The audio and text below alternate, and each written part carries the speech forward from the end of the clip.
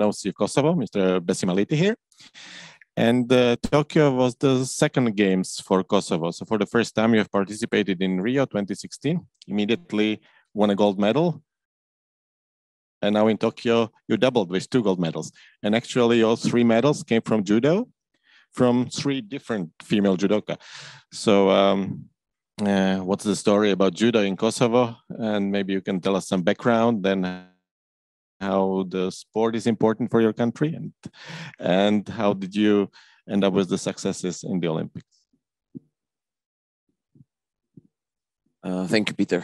Uh, first of all, uh, let me thank you, the European Olympic Committees and the Slovak Olympic Committee for organizing this seminar. And uh, second of all, thank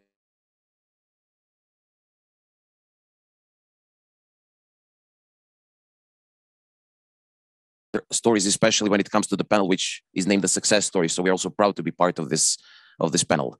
Um, as you said, uh, Peter, two Olympics, three medals, uh, all won by female athletes uh, in sport of judo. Uh, but also, I think it's very important to emphasize that we are the youngest NOC in this European Olympic Committee's family, and uh, Rio was our first Olympics. So um, for us, it was not just important to participate and create results for the matter of having results, but for the matter of creating role models and for the matter of creating athlete heroes who will uh, motivate, motivate and inspire the next generations to continue this path and uh, to um, become successful and to have their uh, dream that uh, in front of their face there is somebody who can achieve it from the same country and that it's achievable actually. Uh, I think it's uh, also very interesting that it comes from the from the same sport. But I think that Tokyo proved that the medal in Rio was not by accident. That actually there was a system behind it, and that uh, our coaching level in terms of judo is, and especially the coach Driton Kuka, who is I think also famous as one of the best judo coaches in the world, training with a lot of other countries and especially in the regional countries. I know they have many camps in in Slovenia, etc showed that the system behind it proves to be successful and that uh, we will definitely not stop in Tokyo but continue further.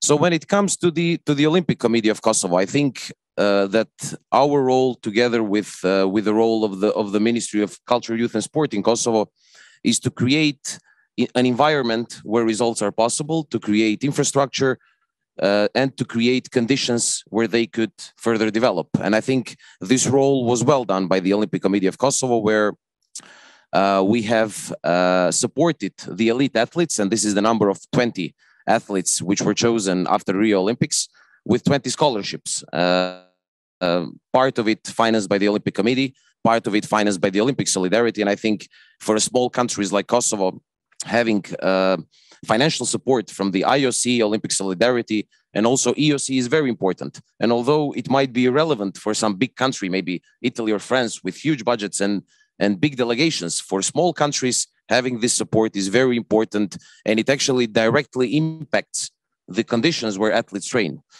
Um, so this is the first thing. We created uh, opportunities to give scholarships to those elite athletes. And also, uh, we have provided in, in these four years but actually became five. And I'll also comment on that. So in these four years, we have created possibility for those elite athletes to have uh, 80 days of training camps in the country and out of the country, uh, financed by the, uh, subsidized by the Kosovo Olympic Committee. This was especially important in the era of COVID because many of those camps had to be isolated. And I think all the countries faced this, that basically the costs went up and the uh, the whole uh, the whole story became very difficult. And I think uh, Kosovo Olympic Committee has done a very has played a very good role here in supporting the the preparation camps. Uh, in addition to that, together with the ministry, we have a program called Olympic Hopes, which is a strategic approach of finding those talents in the age of 15 to 21 and supporting them and bringing their careers closer to the next Olympics. So this is not, let's say, Olympic Hopes financed in the period 2016 2020 have been preparing for Paris 2024 and Los Angeles 2028. And I think for us, it's very important to have this strategic approach and to identify talents very early because we are talking about a country, and I think San Marino is a great example here. We are talking about small countries, and Kosovo is also relatively small with less than 2 million population. So we are not talking about a big pool of talents. We are talking about a very small pool where we need scientific approach. And I think this is the most important message that Professor Antonio gave today when we uh, identify our talents. So just take the sensitive phases. In some of the sports, those sensitive phases are very early. Let's say if you look at gymnastics, you need to identify the talent in the age of four, and five. And if you don't do that, the time has gone, which means uh, we need this approach. And I think the next step of our strategic approach in terms of coaching will be to implement more of scientific research in our program. And this will be done through Olympic Academy, which has just recently been um, founded in Kosovo as part of the Olympic experts to train our coaches to give them this uh, background of scientific research so that our trainings can be based on that and that the results in the next olympics will never be uh, by accident but it will be a continuity of good work and good preparations and i think that we really need to work on that that very well. Also i'd like to comment on what professor antonio said that we had five years. For some it might have been advantage but i was impressed when he said that 65% of the athletes reach their peak at the olympics. This is really impressive. It means that there was really a scientific research behind it because if we look at the preparation of the athletes they all timed their peak for the four years microcycles and then suddenly an extra year came which means that the basic preparation period might have been too early or the specific might have been too late and I think this was a big challenge for the athletes, as well as we will have a big challenge now for Paris, because uh, we are talking about less than three years now. And I think that in uh, looking at it anthropologically and uh, from all the uh, perspectives of the preparations of the athlete, especially the physical one, we need to be ready to um, give them an approach which allows them that in three years they achieve something that they would achieve in four. And this will definitely not be easy. Also, one very important perspective will be the psychological perspective and the nutrition perspective, which we in Kosovo have to work a lot and learn from bigger NOCs like Italy or France and, and, and all other NOCs to learn, take lessons, and transfer this knowledge to our coaches, which are the most important. So, as I said, uh, the results come from these coaches, from the system, from the work in the clubs.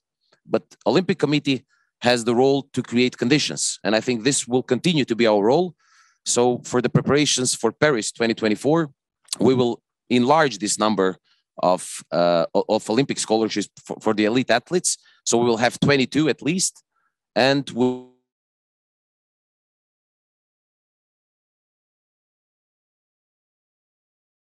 the Olympic hopes will also enlarge this number uh, so that we have a better opportunity for the next Olympics to create Olympic candidates. Um, I think we are all being part of the Olympic family is not just uh, not just a privilege, but it's it's really a big obligation because because we have an obligation towards the most important stakeholders in our in our family, and these are the athletes. So if we don't do the the proper preparations and conditions for the athletes, we are not fulfilling our role. And I think as Kosovo Olympic Committee, we will do our best that in this next three years period, we will create more candidates. We will create more diversity in terms of sports to try and, and have better Olympic chances in, in, in other sports. And also, I think that we will do our best to inspire our young nation with uh, Olympic heroes to have uh,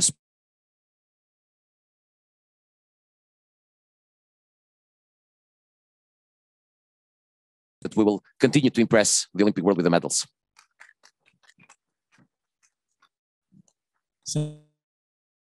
Thank you, Basim. Uh, thanks to all the presenters. And now it's time for the answer. And we actually have two questions here on the web app. So the first one, first question from the NOC of Malta, and the question goes to San Marino and to Kosovo, um, asking if the great results at the Olympics had actually translated into the increase in participation in sport at the grassroots.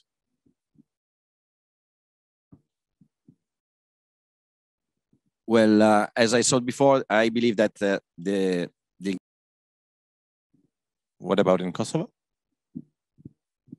Uh, thank you for this question. Uh, I, am not sure, to be honest, to tell exactly if that uh, has increased or not. To tell in exact numbers, I don't think it will be. It would be serious when we don't have a research about that.